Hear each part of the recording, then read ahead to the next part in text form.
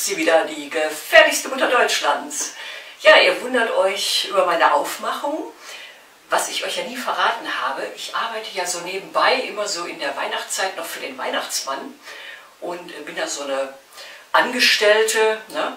Und äh, der sagt immer, lies mal die ganzen Briefe. Ich kriege dann alles nicht mehr bearbeitet. Also wir sind ganz viele Weihnachtsfrauen, die dem da helfen. Bin da extra nochmal so Etage höher auf die Wolke. Und äh, da gibt er mir immer sein Buch und sagt, guck mal hier, was die Leute so schreiben. Und da schreiben ganz viele Eltern und der kriegt dann so Briefe wie, äh, ich brauche dringend Hilfe, ich kann mein Kind an Heiligabend nicht sehen, weil der andere Elternteil das von mir schon seit Monaten oder Jahren entfremdet. Also da ist alles voll mit Briefen, ich kann mein Kind nicht sehen, ich habe einen Eilantrag an den Richter geschrieben, habe gesagt, ich möchte wenigstens Weihnachten mein Kind mal kurz sehen. Äh, das, der Richter hat dann entschieden, okay, 60 Minuten wären möglich unter Bewachung.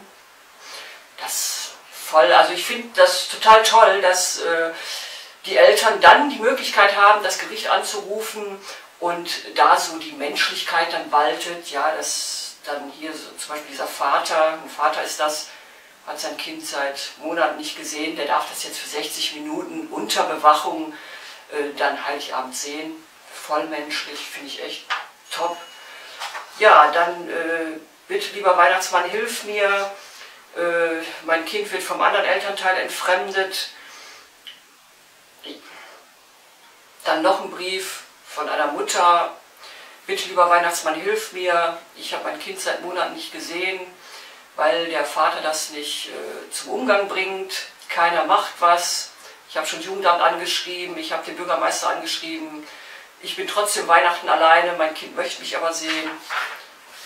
Hier ein Vater, lieber Weihnachtsmann, die Mutter meiner Kinder scheint mich so sehr zu hassen, dass sie alles auf den Rücken unseres Kindes austrägt. Sie hat immer wieder neue Ausreden, das Kind nicht zum Umgang zu bringen. Was kann ich nur tun?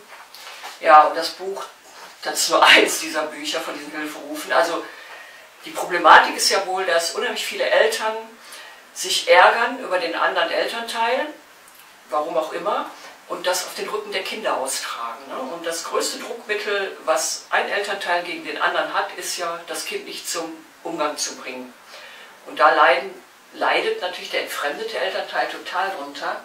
Ja, und ich muss jetzt immer hier diese Briefe schreiben an die Eltern und so tröstende Worte finden. Ich habe da schon mal vorbereitet, ich muss dann immer antworten und die halt trösten, weil ähm, der Weihnachtsmann hat schon gesagt, immer dasselbe. Er guckt sich dann von oben da alles an und sagt, die Eltern rennen zum Jugendamt und wollen Hilfe haben, die rennen zum Gericht, wollen Hilfe haben, die rennen zu allen möglichen oberen Stellen aber es hilft ihnen niemand, ja. Also wenn jemand sein Kind entfremden will und vom anderen Elternteil fernhalten will, hat der von allen Seiten Unterstützung, ja. Da werden Ausreden erfunden, ach, das Kind will nicht, das Kind will aber, oder das Kind wird so lange manipuliert, bis es dann sagt, nein, ich will auch nicht.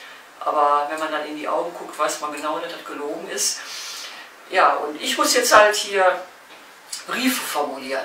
Jetzt habe ich dem einen Vater schon mal formuliert, ja, der sein Kind nicht sehen kann. Tröstende Worte.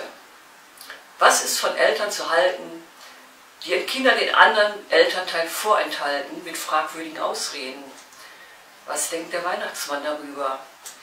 Ja, der glaubt, auf Paarebene hat der andere Elternteil wohl nicht abgeschlossen und möchte jetzt sich irgendwie rächen oder weiter Macht ausüben auf dem Rücken seines Kindes. Ne? Und wenn er sein Kind nicht zum Umgang bringt, tut er dem anderen Elternteil weh. Dass er dem Kind dabei auch weh tut, das scheint ja diesen Elternteil nicht zu interessieren. Und der Weihnachtsmann, der sagt, geh doch mal in dich, Weihnachtshelferin, was willst du denn schreiben? Ja, ich würde schreiben, dein Kind ist dir gegeben, aber nicht um dein Ego zu polieren. Ja? Dein Kind ist ein Gottesgeschenk, kein Machtinstrument.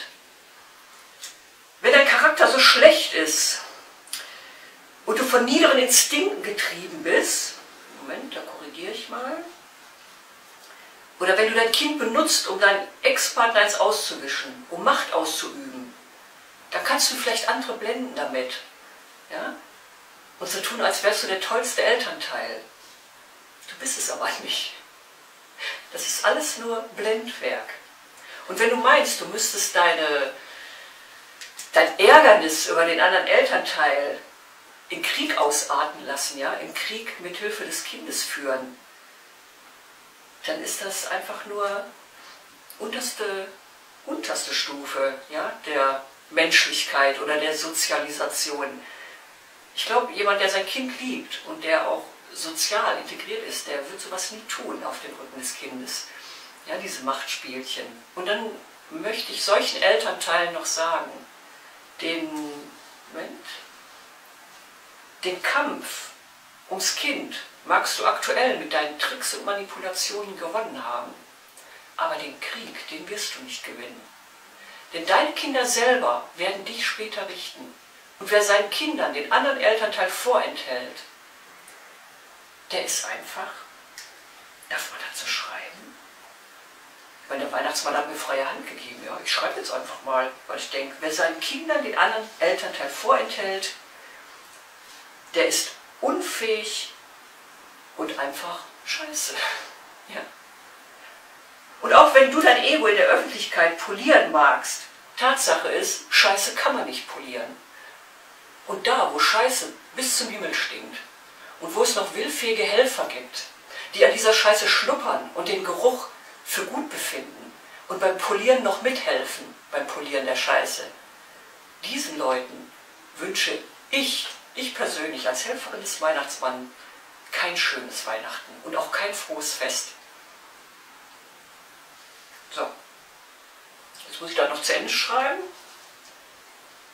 Die tröstenden Worte und dann ja, muss der Weihnachtsmann unterschreiben und dann geht er ab. Ja. Ich sage dann mal wieder, schalt wieder ein bei dem Gefäßmutter Deutschlands. Ich mache jetzt noch meinen Job hier fertig. Ich habe hier noch ein paar tausend Briefe. Es sind nämlich keine Einzelfälle leider. Es ist gang und gäbe. Ja, da habe ich noch was zu tun. Also, schalt wieder ein. Tschüss.